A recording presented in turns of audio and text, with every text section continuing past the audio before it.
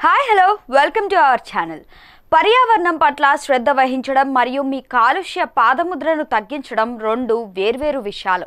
రసాయన ఎరువులు మరియు పురుగు మందుల వల్ల పర్యావరణానికి కలిగే నష్టాన్ని తెలుసుకున్నప్పుడు మధ్యప్రదేశ్లోని బార్వాని జిల్లాలో బోర్లాయ్ గ్రామానికి చెందిన యాభై ఒక్కేళ్ళ రైతు లలిత ముకాటి సేంద్రియ వ్యవసాయ పద్ధతులను స్వీకరించాలని నిర్ణయించుకున్నారు.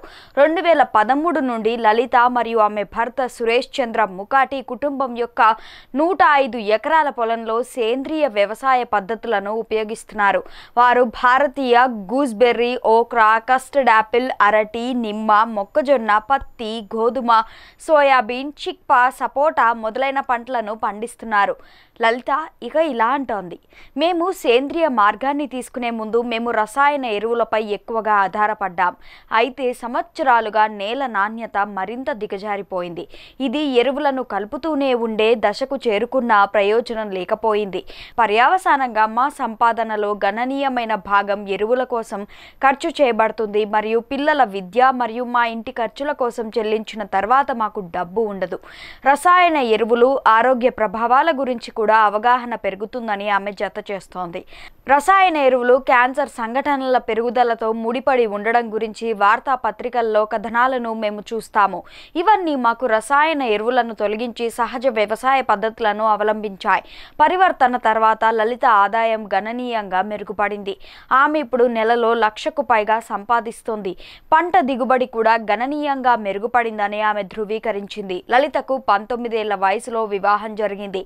తన అత్తగారి సహకారంతో ఆమె తన విద్యను కొనసాగించి బహిరంగ విశ్వవిద్యాలయంలో చేరారు. అక్కడ ఆమె ఆర్ట్స్లో బ్యాచులర్ డిగ్రీని అభ్యసించారు. సమయం గడిచే కొద్దీ ఆమె వైవాహిక బాధ్యతల్లో మునిగి తన పిల్లలను చూసుకుంది. నా పిల్లలు పెద్దయ్యాక నేను నా భర్తతో కలిసి పొలానికి వెళ్ళడం మొదలుపెట్టాను. ఆ విధంగానే నేను వ్యవసాయంలోకి ప్రవేశించాను. ఈ రోజు నా పిల్లలందరూ స్థిరపడ్డారు మరియు వారు ఎంచుకున్న రంగాల్లో బాగా రాణిస్తున్నారు అని ఆమె గర్వంగా చెప్పుకొచ్చారు. ప్రారంభంలో ఆమె భర్త మరియు ఆమె బావ వ్యవసాయ వ్యవసాయ క్షేత్రాన్ని నిర్వహించారు. కానీ తర్వాత పని కోసం వెళ్ళవలసి వచ్చింది. మరియు లలిత భర్త వ్యవసాయ నిర్వహణ బాధ్యతను తీసుకున్నారు. లలిత మరియు ఆమె భర్త సేంద్రియ వ్యవసాయ పద్ధతులను ఉపయోగించడం ప్రారంభించి ఏడు సంవత్సరాలైంది. సేంద్రియ వ్యవసాయంలో పూర్తిగా మారడానికి మూడు నుంచి నాలుగు సంవత్సరాలు పడుతుందని ఆమె చెప్పారు.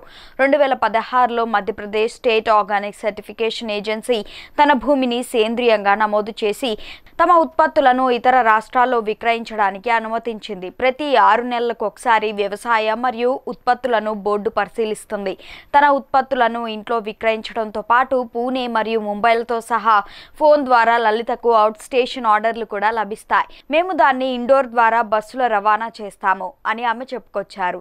రైతులు మరియు వ్యవసాయ విద్యార్థులకు ఆమె ఉచితంగా శిక్షణ సమావేశాలను కూడా నిర్వహిస్తున్నారు. ప్రారంభ రోజుల్లో ఆవు మూత్రం మరియు ఆవు పేడ వంటి సహజ ఉత్పత్తులను ఉపయోగించి ఇంట్లో సేంద్రియ సేంద్రియ ఎరువులు మరియు పురుగుమందులను తయారు చేయడాన్ని లలిత గుర్తు చేసుకున్నారు. ఆమె వర్కింగ్ కంపోస్టింగ్ యొక్క ప్రయోజనాల గురించి కూడా మాట్లాడారు. వానపాములు వ్యర్థాలను కంపోస్ట్గా మార్చడం ద్వారా సహజంగా మట్టిని సారవంతం చేస్తాయి. రసాయన ఎరువులు ఉపయోగించినప్పుడు అది నేలలోని వానపాములను చంపుతుంది. మట్టి సంతానోత్పత్తిని నిర్వహించడానికి వర్మీ కంపోస్ట్ సహాయపడుతుంది మరియు వానపాముల పెంపకం అదనపు ఆదాయ వనరుగా ఉంటుంది. ఆమె సహజ పురుగు మందులు మరియు వేప నూనె వేప కేకులు మరియు పుల్లని మజ్జిగతో చేసిన స్ప్రేలను ఉపయోగిస్తున్నారు.